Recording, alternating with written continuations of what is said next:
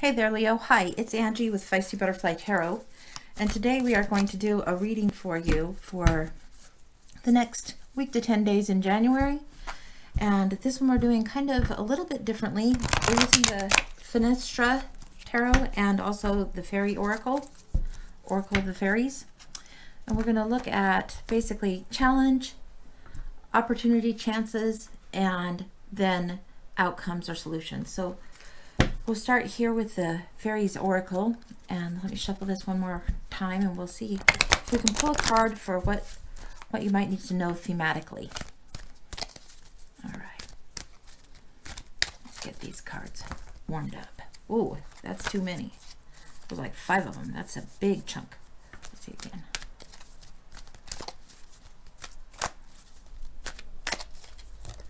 There we go. There we go. It's right there. Lost and Found. Okay. So this card, Lost and Found, is from the Fairies Oracle, and it says, What was once lost is about to be found, thanks to the Lost and Found Fairy. Sometimes she can help us find things we never even realized were lost. I don't think is this is something that's talking car keys. I think this is talking sense of self, spiritual stuff, spiritual energies that are in the indigo purpley area, which is like um, throat chakra, third eye chakra, those kinds of things where we're expressing ourselves, where we're downloading spiritual thoughts and thinking about these things and figuring out our own path and authenticity. Let's see if we can get one more thematically from the fairies. Fairy Oracle for Leo. Whoa! Well, we have three more. Three is a number that we can take. So I'll just read them to you in order and then we'll find out what the tarot's got for you. We have Magical Gateway. Let's see if you can see that. Magical Gateway. It takes courage to trust, to venture into the unknown, yet this is where the greatest rewards are. It's time to step boldly forward without looking back. This says, ask for help angels and celestial beings who protect everyone, and the fairies say now is the time for you to ask for angelic assistance. So if you need to ask, do. This is heart chakra colors. This is heart chakra um, colors, even in the, some of the stones, like over here. Um, this is the time where it's time to be gentle with yourself. And even though sometimes it's difficult to ask for help, it is the time. There's a change going on. And then journey. Now this might apply to some of you very literally. It could be just a stage for others. It's time to prepare for a journey. It's it may be impromptu or planned. Either way, make sure you're ready when the time comes. Pack your passport now. So this to me indicates springtime traveling. So it could be within a couple of months that it's very literal. It could be a couple of months of journeying from maybe a way of doing things in the past to what serves better in the current time.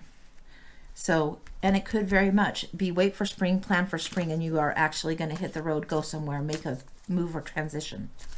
All right. So we're going to look at the cards that are the issue or the challenge. And I, I chose this deck for you because um, even though it's pastel colors and I tend to go for the bold, I thought that this might be a little bit of a, a gentler message. Okay, something has ended. We're just going to lay them out in this order. Okay. So if we're looking at the issue and challenge, moving into opportunities and moving into solutions. This is what we're seeing first is death. This is something ending. This is a transition of something. This is um, a time for mourning and loss and then moving forward and moving on. This is a gateway opportunity.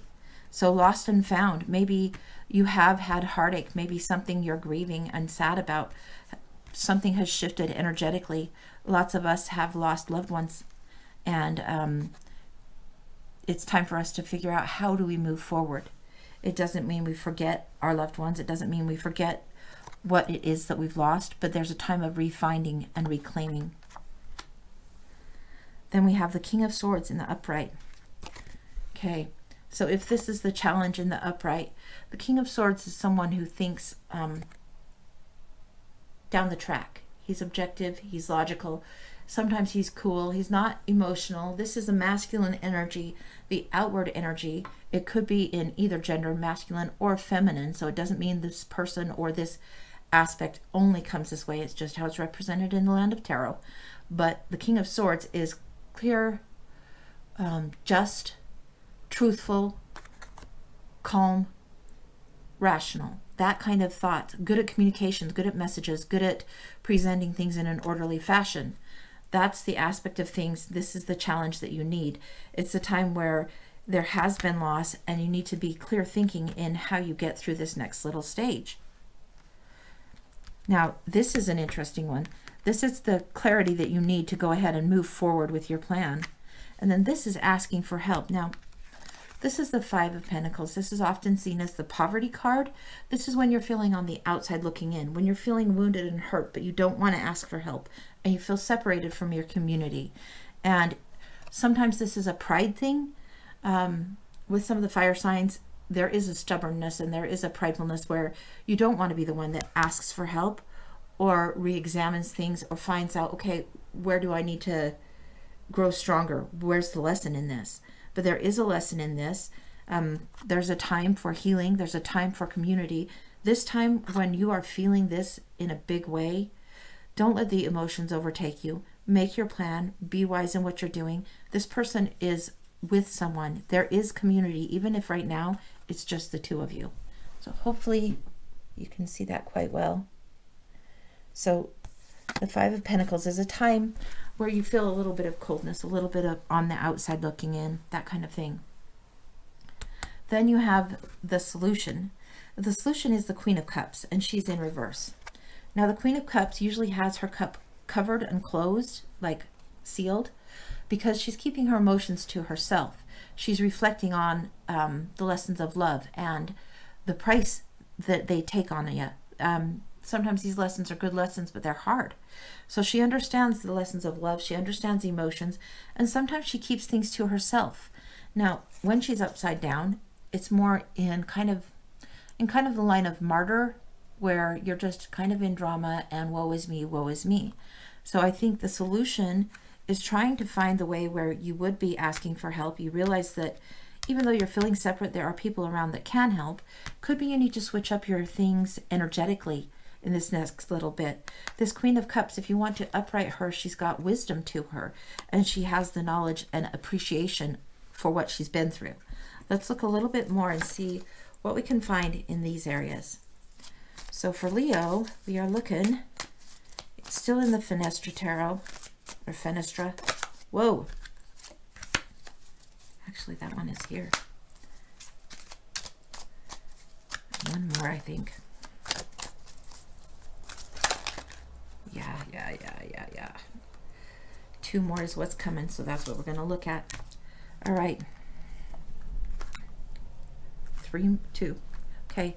First one out in this particular area is the Six of Swords. The Six of Swords has to do with leaving rough waters for smooth. So if you can be visionary, be thinking logically, plan when you need to go. Plan this trip, this getaway, this energetic shift that needs to happen in your heart, then you're able to move. You aren't moving alone. Notice again, she's got someone with her and she's got help behind her. She's got some support. There's someone there that's helping her, even though she's taking all this baggage as far as these swords, they weigh down the boat. It would be easier to travel without that. Um, she does have the assistance necessary to move forward. So deciding what is um, being left behind and where you're headed is important now. Be thinking forward, and that will keep you out of this over reflection of emotion, this overly stuck in a wallowing, stuck in um emotional drama where it's just heartache, heartache, and you don't want to let go. It's almost like sometimes we get so close to our heartaches that they're almost like a friend, a comforting friend, where we can be in our own little sense of mad or sense of rightness or sense of true hurt and we don't want to do the necessary thing to let go and move forward, but the time has come. Okay, next out, this is what we're seeing, all right? So we have the Emperor, this is a time to be in the masculine energy where he puts order and structure and balance and rules things. This is the time to lean into that masculine energy. This could be someone that you actually encounter. It could be somebody with very strong masculine energy or even a actual male person. This is a big lesson for you. This is about putting the order in place. Now, this is following the Queen of Cups. So this upside down emotional um, highly sensitive type of um, mode that you're in. The highly sensitive of the world, it's like a, a two-edged sword. It really is because some people think, oh, you're too sensitive, you're too sensitive. Well, that's that's your internal compass telling you when things are off and when they aren't. But you can get stuck in that high sensitivity and not want to let yourself grow. And that seems to be the challenge. You're being asked to journey forward. You're being asked to prepare for a different kind of future than what you expected. Next out, Six of Coins in reverse. Okay, things might feel a little upside down for you financially, for your resources, for your time. Things might be shifting. It's generally seen as a card of generosity where someone is giving to someone else.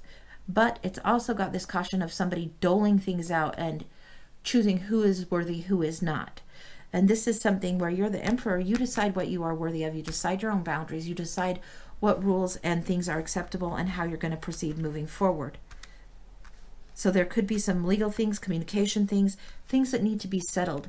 Now, this back and forth, this giving and receiving, when it's upside down like this, it might not come out how you're expecting. It might not be that these resources are exactly what you were expecting them to be. It could be that you actually have an abundance where you are being asked to share and give more and give way, make make leeway, make room.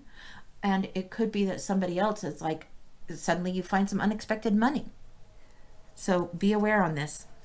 This one I'll leave in the the upside down as well. Next out is the Knight of Swords. Now the Knight of Swords rushes in.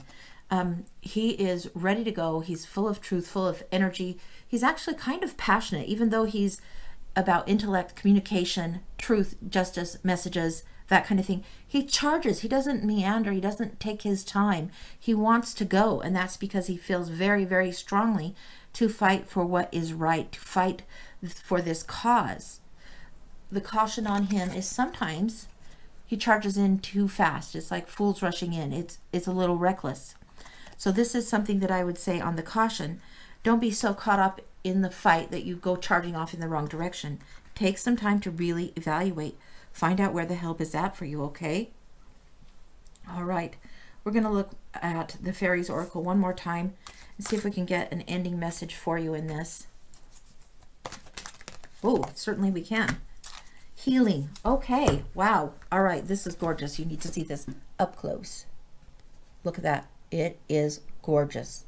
Look at all this magic that she has all of this energy, inspiration, and spirit that's with her in her hands. And this is something right here. You don't recognize what you have in your hands. When you're in this mode, you're either giving or receiving, and you're about to either receive more or have the capacity to give more. So this is saying healing. Now is a time for you to give or receive. I'm not making this up. To give or receive healing. Everyone has a natural ability to heal others. Yes, even you. So search in your heart. Really search in that space where you feel aligned, joyful, and also very at peace. This is asking you to look for that crown energy, the crown chakra, the intuition, the spirit. And the blues are also to do with throat and expression. This is also in that bluish shade, trying to get you to express what is authentic, what is your need, what is really true, and what will bring you happiness. This might be a time for you to do some journaling and writing so you can get clear about how this needs to go forward. Okay, guys, that's what I have for you. Um, like, subscribe, tell a friend, come back and see me again. Bye, guys.